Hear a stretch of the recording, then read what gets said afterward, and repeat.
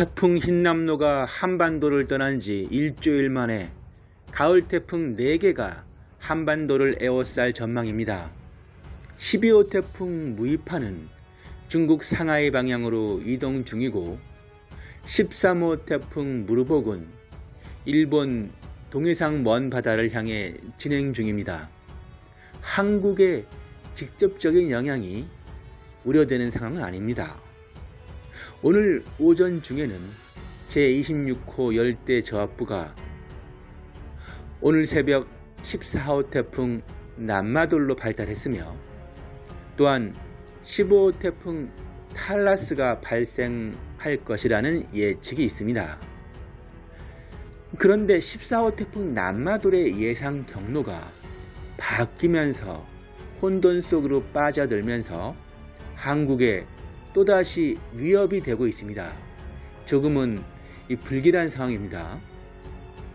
오늘 9월 14일 북서태평양 구역의 태풍 명명권을 가지고 있는 일본 기상청에서는 한국 시간으로 오늘 수요일 9월 14일 새벽 3시 기준으로 제14호 태풍 남마돌이 발생하였음을 발표하였습니다. 현재 14호 태풍 남마돌의 위치는 일본 도쿄 하네다 국제공항에서 남쪽으로 약 1450km가량 떨어진 해상에 위치하고 있으며 중심 기압 999헥토파스칼, 중심 최대 풍속 시속 약 65km, 35노트의 열대 폭풍 TS급 세력으로 발달하였습니다.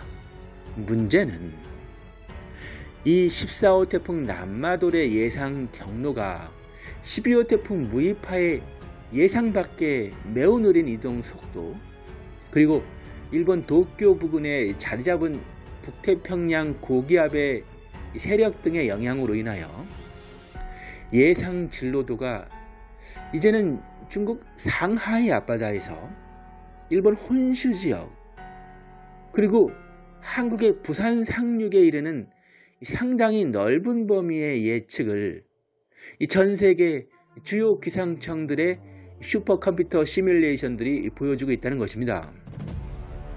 미국 해양대기청 이 노아가 제공하는 이 HWRF 사이트의 여러 태풍 예측 모델들의 14호 태풍 남마돌의 진행 방향을 살펴보면 미국 기상청 AVNO GFS와 캐나다 CTC는 중국 방향의 진로도를 보여주고 있으며 미 해군 컴퓨터는 COTC는 일본 큐슈 오사카 방향의 진로도를 보여주고 있고 이 HWRF는 부산 상륙을 보여주고 있고 미 해군 글로벌 환경 모델은 대한해협과 일본 큐슈 사이로 움직이는 진로도를 보여주면서 14호 태풍 남마돌의 예상 경로가 혼돈 속에 빠져들고 있습니다.